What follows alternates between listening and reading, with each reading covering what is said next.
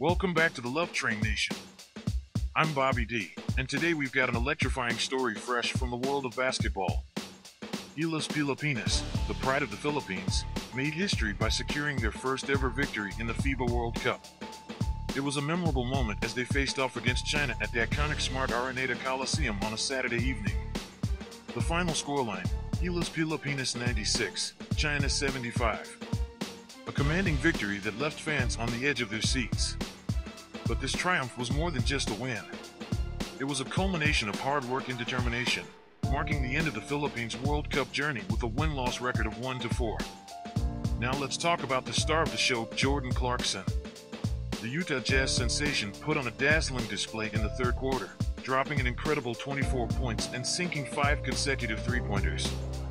This extraordinary performance propelled Gilas to a commanding 73 51 lead as they entered the final quarter.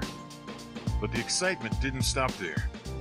China tried to mount a comeback, but Gilas had other plans. A 14 1 scoring run built a 20 point cushion in the closing minutes of the game. This historic win by Gilas Pilipinas is a testament to their resilience and dedication. It's a moment that will be remembered for years to come.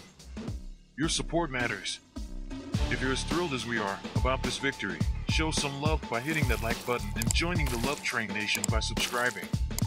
Your support fuels our mission to bring you inspiring stories from the world of sports and beyond. Thank you for watching. Until next time, stay curious, stay informed, and let's keep riding the love train together. We'll see you in the next video.